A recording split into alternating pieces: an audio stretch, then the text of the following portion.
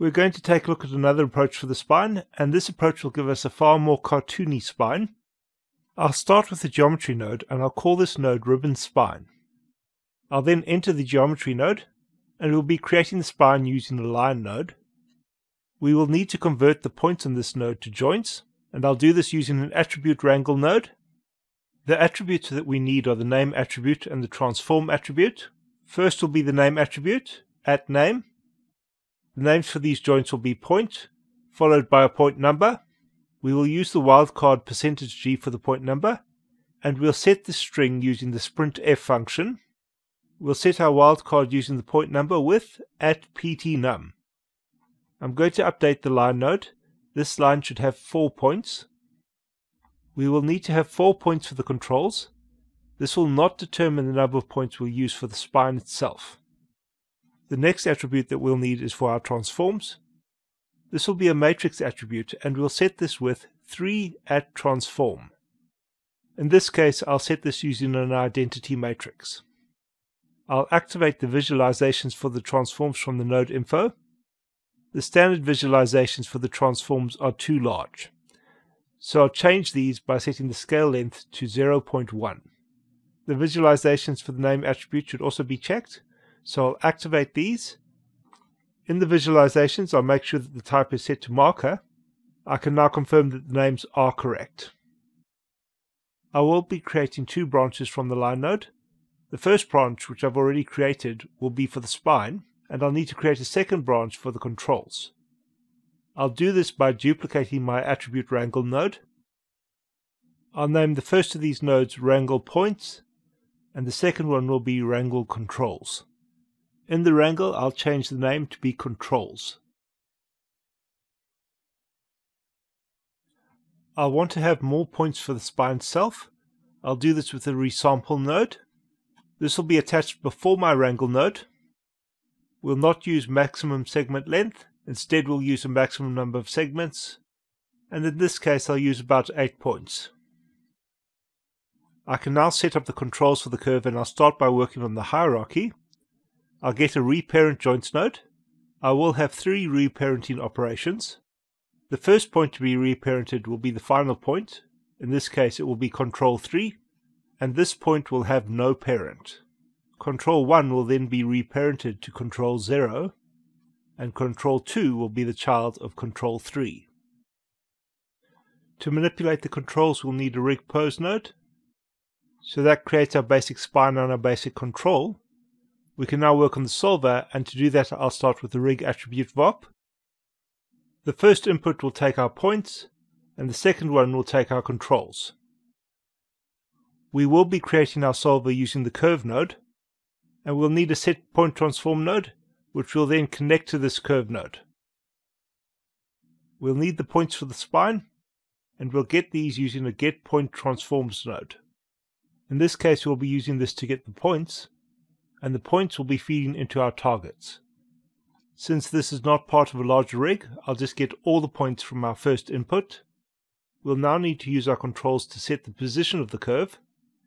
These controls will be connected to input 2 and will be set by our rig pose node.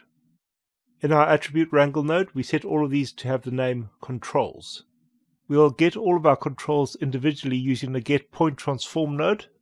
I'll be setting these by name and I'll start with my root and that will be control 0 and we'll be getting this from our second input.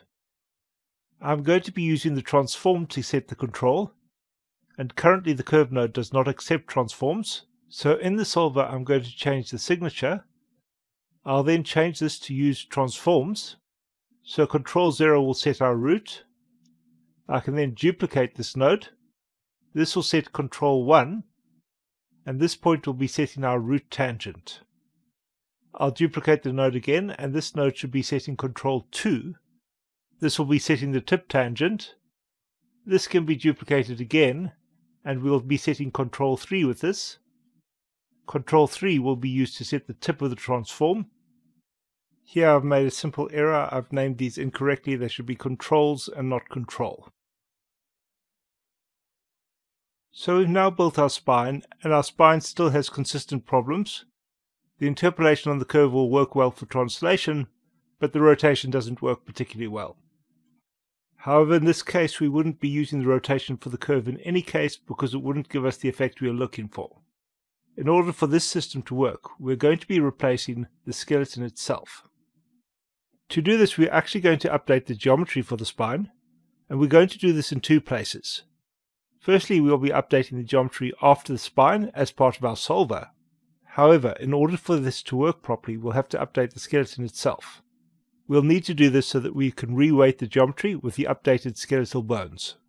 In this case, I'm not going to cover the entire setup for the skeleton. Basically, you want to create consistent names and transforms for both skeletons, and we've already done this with the attribute nodes. However, you will need to be more specific on the calculations for the transforms. We will need to get some extra information from our points. In this case, we will not be looking for information from our spine, Instead, we'll be looking for the information from our controls. To do this, I'll get an attribute wrangle node, and this node will be connected to my rig pose node. This information will not be relevant to the solver, so I will not connect it to the solver itself. The attributes that we set with this node will be detail attributes. We can start by getting transforms. We'll start with the matrix 3. This will have the name first M, as it will be my first matrix. I'll get this as a point attribute, this will be set from input 0. This will be the transform attribute. The last attribute will specify the point, which will be point 0. This will give us the transform of the first control. We'll then get the last control with matrix 3. The variable name will be last m. This will be set with a point function. It will be from input 0. We'll be getting the transform. The index will be 3, and this will give us the fourth point. So I've got the transforms for these points, and the next thing that I want to get from them is the rotations. In this case, I do not want the global rotations, I want the local rotations. I do not want to do a lot of calculations to get the rotations. Instead, I prefer to be able to get them from the pose node. In other words, I want to get these parameters over here. Another thing is I want to get the rotations in degrees. So for example, if I rotate the root, we'll see that the rotation is listed in the pose node as degrees, and this is the value that I want to get. The easiest way to do this is from the rig pose node itself. We'll go to the settings tab. We'll then activate output parameters as attributes. And we'll turn off everything except the parameter rotates. In the geometry spreadsheet, we'll see that we now have rotation parameters, and these will contain all of our rotations in degrees. By default, the pose node will give us local rotations, so unless we specify otherwise, this will give us the correct rotations. I can now get my information from these attributes. So I'll have a vector, and this will be my first rotation. This is a point attribute. It will come from our first input. The attribute will be r. The point number will be 0 for our first point. I can then repeat this for our last point. The input will be 0, the attribute will be r, and the point number will be 3. I can now calculate a total rotation for my spine based off the root and the tip. I'll set this with the float attribute and I'll call this my total rotation. We'll start with the last rotation and we will be calculating this for the rotation in y and we will be subtracting the first rotation from this. This will also be the rotation in y. The next thing that I want is an up vector for my controls and we'll get this using the z vector from the transforms for each of these controls. So I'll create a float attribute for the first one, and this will be called my first up. I'll then set this from my first matrix. So first matrix.zx, first matrix.zy, and first matrix.zz.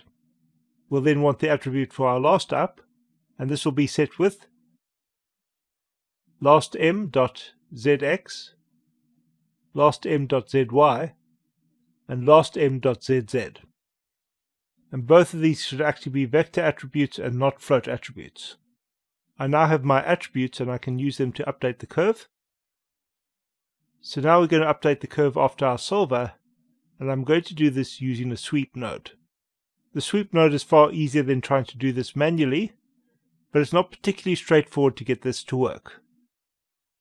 In the sweep node, I'll change the surface shape to be a ribbon. This will give us geometry on our curve, but the results are rather questionable.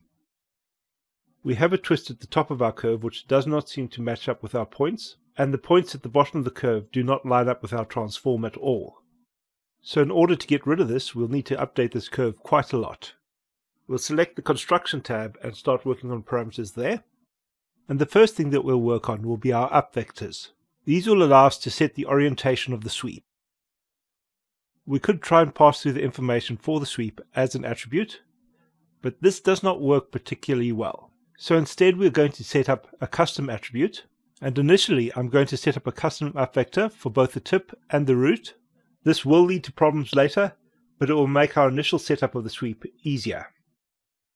The next thing that I'm going to change is the tangent, and in this case I'll set it so that it is no longer using the point attributes for the tangent. So now we want to start setting our up vectors, and we'll start setting them from our attribute wrangle node. There is however nothing connecting our attribute wrangle node to our sweep node. So we will need a way to reference the attributes on that node, and the way to do this is to add a spare input.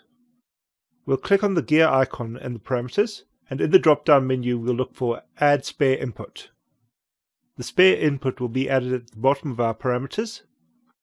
I can then reference my attribute wrangle in this spare input, in this case, I haven't renamed my attribute, so this will be attribute wrangle 1. I'll now be able to reference all the parameters on my attribute wrangle node. So I'll go to the x value in my up vector, and this will be looking for a detail attribute. The first argument of the detail function will reference our inputs, and all the spare inputs are negative numbers starting at negative 1.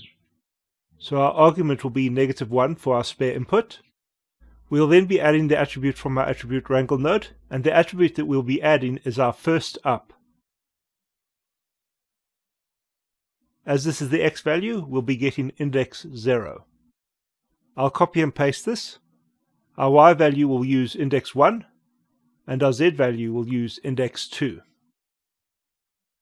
I'll then need to correct my typos. This should be a lowercase p. Our curve is now aligned along the transform. There is a little bit of rotation around the z-axis, but I'd expect that in any case. I can then repeat the process for my tip, so we'll look for a detail attribute. The input will be negative 1. This will be referring to our last up, and the index will be 0. For the y-axis, we'll use index 1, and for the z-axis, we'll use index 2.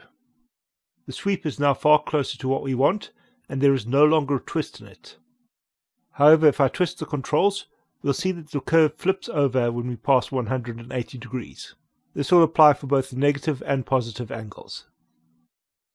So now we can work on the twist itself. To do this, we'll go to the Surface tab. We'll be updating the rotation parameters. Specifically, we'll be updating the partial twist parameter. We want this partial twist parameter to reflect the total rotations for our controls. We've already created an attribute for this, so we can refer to this using our detail attribute function. The attribute we created for this was our total rotation, and that was calculating the complete rotation for these two points. We'll need to refer to our spare parameter, and we'll do this with negative 1. The attribute will be our total rotation attribute. In this case, the index will be 0.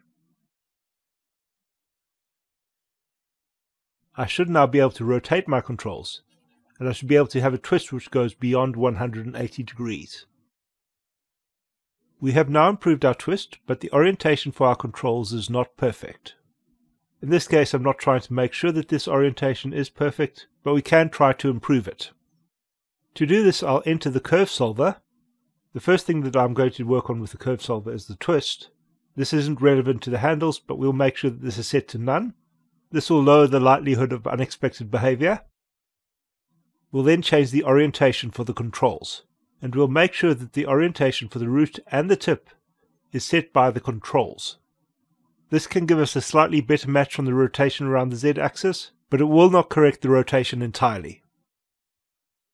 So the next thing which I'm going to do is something which you'd want for a very detailed cartoony character. This is definitely not something which would apply for a game engine though and that is I'm going to resample this curve. So I'll get a resample node. I'll turn off maximum segment length and we'll be working with maximum segments. I'll set this to have a high number, far higher than I'd ever actually use for a rig, but this will allow us to see how our curve is actually performing. So we can now see the kind of detail we can get out of this curve, but we can also see that we have a problem and that is once again a problem of flipping. So now I'm going to take a look at the errors that we've got. I've set up the spine in a neutral position and I've animated the rotation on the tip. So I've set this from a rotation of a negative 360 degrees to 700 degrees. And this should allow us to see the full range of rotation. So now we can examine the problem, and what we'll see is we get flipping whenever we pass 180 degrees. So basically we are having flipping whenever we pass 180 degrees or negative 180 degrees, which is the same problem which we'll have when we use vectors or quaternions for rotation. The problem is actually reasonably simple to fix and is because of something we did earlier. So I'll start by removing the expression from my rotation. We can now take a look at the animation without the extra expression added. And we're back to where we were before we added the twist. Our tip is rotating, we get a flip every 180 degrees. And our problem is we are adding the rotation to this existing rotation. We actually need to remove this rotation for the other rotation to work correctly. So I'll return to the construction and we will no longer use the direct control for our tangent. We will now have no rotation at all for our control. I'll now return to the Surface tab and we'll set up the rotation again. I'll once again set the detail attribute for the partial twist parameter.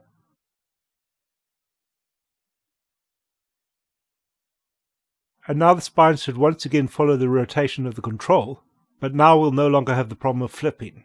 So that will give us the deformation for the spine. The next thing that we'll need to do is we'll need to create the transforms for the spine. I'm not going to go through all the steps for this, but I'll explain the gist of it. We'll need to make sure that our sweep is duplicated for the skeleton. As long as the point names match for the spine and the skeleton, we'll be able to skin the character. So in this case I'll need the resample node, and I'll need the sweep node. We will need to remove the original points from the spine, Instead, we are going to reconstruct our transforms from the sweep node. We can do this in multiple ways using the ribbon. The most flexible results will come from using the points of the boundary of the sweep, so we could cut the number of the columns down to 2.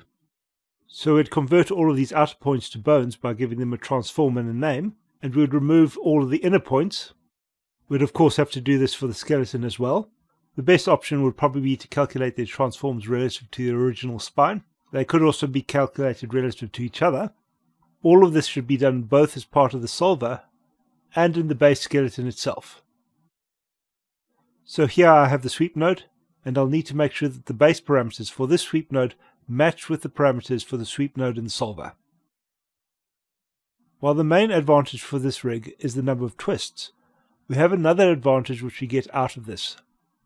And that is that we do not just have a control of the twist, we also have a control for the width of the character. We can use the scale attribute to control the width of the character, and it's also possible to update the profile of this using the ramp. So this is a basic example of using modeling tools to create a solver for a skeleton, and it will give you a reasonably flexible option for creating a cartoony spine.